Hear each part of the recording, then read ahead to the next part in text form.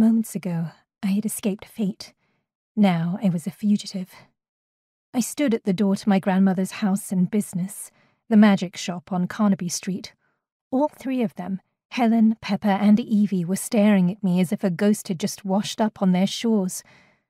A ghost. Her pet. And the man she'd clearly dragged through the bog she had just crawled out of. For a long, breathless moment, I was certain they were going to reject me, certain they had forgotten me. But then Grandmother Helen pulled me in and embraced me. Child, she had asked, heightened concern in her voice.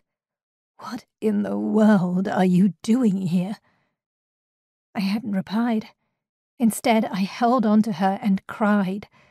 I cried from the pain of losing my home, my family, and my life.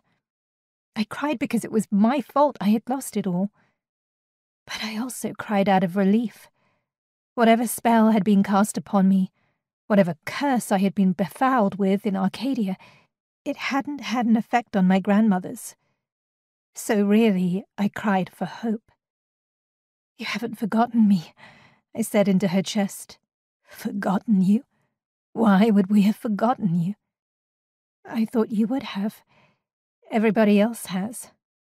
I don't understand, said Helen, embracing me more tightly. The last time we saw you, you were a beautiful little girl of barely ten. For us, that was only a few months ago. And now here you are, a grown woman and yet still our little girl. Perhaps it took me a moment to recognize you, but forget you? Never.